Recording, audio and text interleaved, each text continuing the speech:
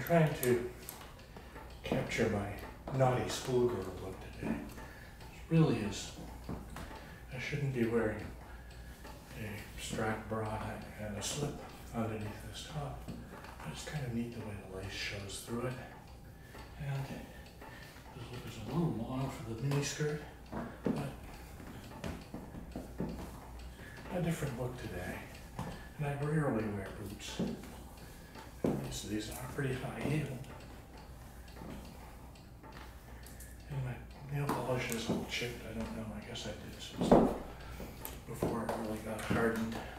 But I'm just having a little fun today.